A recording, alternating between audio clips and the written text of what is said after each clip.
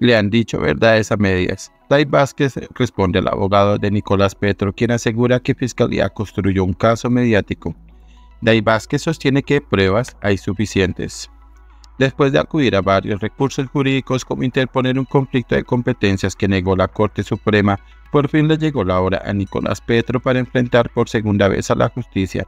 Este jueves 11 de enero, el hijo del presidente, Gustavo Petro, se sienta cara a cara con el fiscal Mario Burgos, quien lidera la investigación y acusará al exdiputado del Atlántico por lavado de activos y enriquecimiento ilícito.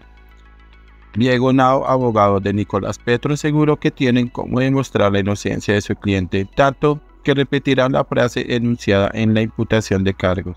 Se declara inocente prestos a acudir presencialmente con mi defendido, vamos a esperar a que la Fiscalía presente el material probatorio que ha estado ofreciendo. Esas pruebas contundentes de las que hablan y nosotros sobre ellas, por supuesto, edificaremos la estrategia de defensa apoyada en las pruebas necesarias para demostrar la inocencia de mi cliente, dijo el abogado en medio de la diligencia que se adelanta en Barranquilla. La defensa de Nicolás Petro acusó a la Fiscalía de construir un caso mediático y advirtió que acudirán a tribunales nacionales e internacionales. Como abogado defensor de Nicolás Petro Burgos, en su oportunidad presentaré las equivocaciones cometidas por la Fiscalía en su afán de construir un caso mediático.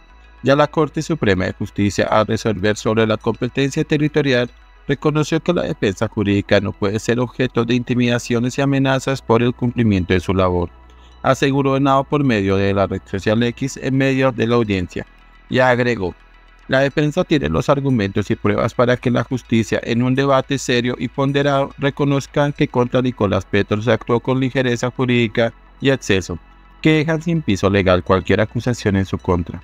Ante ello, David Vázquez, es pareja de Nicolás, respondió a uno de los trinos del abogado Henao. Pruebas hay suficientes, parece que le han dicho verdades a media fueron las contundentes palabras de Vázquez. Parece que le han dicho verdades a media.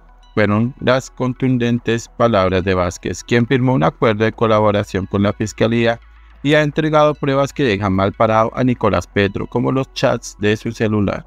Previamente, Day aprovechó para lanzar algunas pullas, aunque en esta oportunidad no respondió a ningún trino. La expareja de Petro Burgos escribió en medio de la diligencia: Venga y yo le reseteo la cabeza lo que podría ser un claro mensaje a la defensa que insistentemente asegura que el caso contra Nicolás fue armado con ligereza jurídica.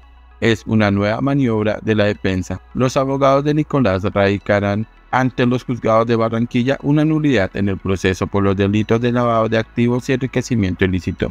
Para los abogados del exdiputado por el Atlántico, existen irregularidades en el procedimiento de captura que básicamente afectan el curso del proceso pues fue justamente con esa detención que arrancaron el resto de etapas en el expediente que tiene al hijo del presidente a las puertas de un juicio y una condena de unos 15 años.